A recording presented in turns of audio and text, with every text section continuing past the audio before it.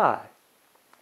This video presentation is designed to support students writing their final research paper on Paul's thorn in the flesh. Now the bulk of your paper should constitute an exegetical or expositional analysis of the key biblical texts associated with this topic, specifically 2 Corinthians 12.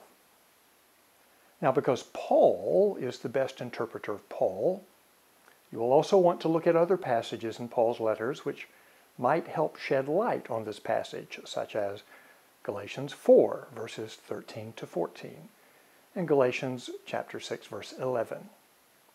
Keep in mind that your primary aim is to identify what, what Paul's thorn in the flesh was, based exclusively on your interaction with what Paul himself says in his letters. You may refer to the secondary sources, by that I mean scholarly commentaries and journal articles, but as conversation partners in achieving your goal. But your assignment is not merely to provide the reader with a book report on what the experts think Paul's thorn in the flesh was. That is not your assignment. Rather, your assignment is to listen to Paul and let Paul tell you what the thorn in the flesh was, based on clues and hints he gives in his letters to the various churches to which he wrote.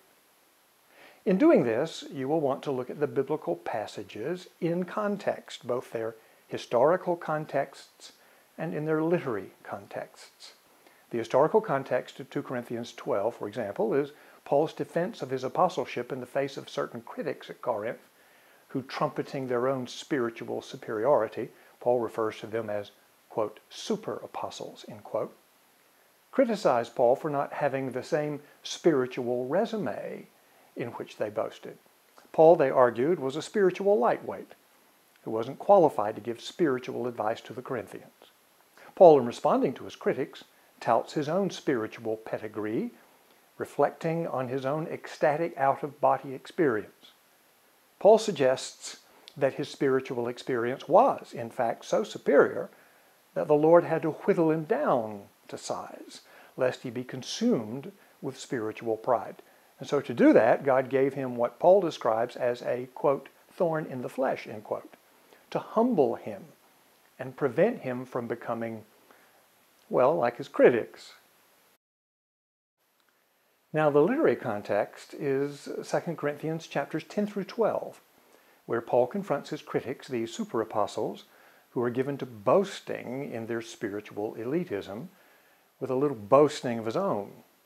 Note that the Greek word translated boast, kauchaomai, occurs 19 times in 2 Corinthians 10 through 12 and only 29 times in all of 2 Corinthians. Though loath to boast about himself and his apostolic credentials, Paul suggests his critics have forced him into it. And so he engages in what scholars have described as Paul's fool's speech, in which he, in his words, engages in a little foolishness, sinking to the level of his critics and even employing some one-upmanship on them in order to reassert his apostolic credentials and to reaffirm his apostolic credibility. Again, the exploration of the biblical text in order to interpret what Paul meant by the thorn in the flesh is the assignment of your paper. However, once you have established that, then and only then is it appropriate to move on to today to discuss the theology of Paul's discussion. And by that I mean what this passage and Paul's experience with his thorn in the flesh has to say to modern day Christians today. While this should not be the major emphasis of your paper, you will want to address the theology of this passage at the end or the conclusion of your paper and that's what I want to spend a moment reflecting with you about. This is what I call the so what question, the theological question. That is, after we have come to some conclusion about what the thorn was, it is appropriate to ask, what does all of this have to say to Christians today? The larger theological issue raised by this passage is called theodicy. The word comes from two Greek words, theos, meaning God, and dikaios, which means justice. And so the word theodicy means, how do you justify your belief in God when God permits bad things to happen to good people? It is sometimes called the problem of suffering or the problem of pain. Indeed, C.S. Lewis wrote a book about theodicy titled The Problem of Pain. The Jewish rabbi Harold Kushner wrote a popular book some time back dealing with this issue that he titled When Bad Things Happen to Good People. In relation to Paul's thorn in the flesh, the issue of theodicy arises in that Paul three times asked God to remove this impediment, but God did not. In behalf of this three times I pleaded with the Lord in order that he might remove it, meaning the thorn in the flesh, from me, Paul writes. It is an age-old problem over which thinkers and writers have pondered for centuries. It's an issue taken up in the Bible as well. For example, the book of Job deals with theodicy. Job is a good man who is made to suffer, not through any fault of his own. The answer God gives to Job when Job asks God to explain himself is, I'm God and you're not. Sit down shut up. I'm paraphrasing, of course, but that's the gist of it. It is the issue in Ecclesiastes as well. For everything there is a season, a time to be born and a time to die. There is nothing new under the sun. The answer to the question of suffering Ecclesiastes gives is, hey, bad stuff happens, deal with it. That is, there is no answer. Perhaps the answer given to the problem of, of theodicy in the Bible is the one given throughout the Old Testament called Deuteronomic theology. It is called that because the book of Deuteronomy routinely gives an evaluation of the various kings of Israel based on whether or not they were faithful to Yahweh. For example, Josiah and Hezekiah were good kings, but Ahab was a bad king. The good kings were not good because they did good things for the people, that is, they brought them peace or prosperity. Rather, they were good solely because they were faithful to Yahweh, that is, they didn't worship pagan or false gods. Moreover, Deuteronomy went further and suggested that good things happened to good kings and bad things happened to bad kings. That is, good kings were blessed by God while bad kings were cursed by God.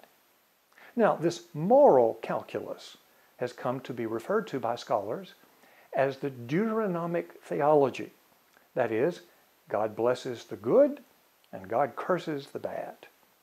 This was the theology at work among Job's friends.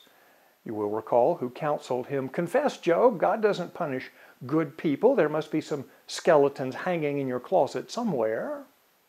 Job's friends are expressing perfectly the Deuteronomic theology so widely accepted by biblical people. But the Deuteronomic theology is alive and well today as well. It is sometimes called the prosperity gospel or the health and wealth gospel. T- TV preachers routinely say, if you give God a nickel, he'll give you back a dime. Hear that? Or there must be some hidden sin in your life for God to be punishing you like this. It is the theology, a pretty mean theology in my view, that blames suffering on the sufferer. If there is pain and suffering and hardship and impairment of one sort or another in your life, it's because you deserve it. However, you don't have to live very long in this world to realize that sometimes bad things happen to good people. That is, people lacking nothing in faith and piety and morality sometimes suffer through no fault of their own. How do you justify or explain this? That is the problem of theodicy. Indeed, Jesus ran into this Deuteronomic theology in John chapter 9 where he and his disciples encountered a blind man, you will recall, begging outside the temple. The disciples, seeing him, asked Jesus, Get it now? Lord, who sinned that this man should have been born blind, he or his parents? Did you, did you hear that? That is the Deuteronomic theology. The disciples apparently accepting without question that this man's suffering was somehow his own fault. But Jesus rejected that theology and said, Neither he nor his parents. Rather, this man's blindness is for the glory of God. That is, God did not punish this man with blindness because he was somehow a bad man. Rather, sometimes God, though suffering is not his will, nevertheless allows and permits suffering and pain so that his glory and larger purposes can be fulfilled and made manifest. This seems to be the resolution to the problem of suffering to which Paul came in his dealing with his own thorn in the flesh. My grace is sufficient for you, and my power is perfected in weakness. Indeed, there may even be an echo here of Jesus' word about suffering and his rejection of the old Deuteronomic theology in John 9. In any case, this is the larger theological issue, the so what question, at stake in this passage in 2 Corinthians 12. And in your treatment of Paul's thorn in the flesh, you will want to think about it and reflect on it. Till next time, take care. God bless.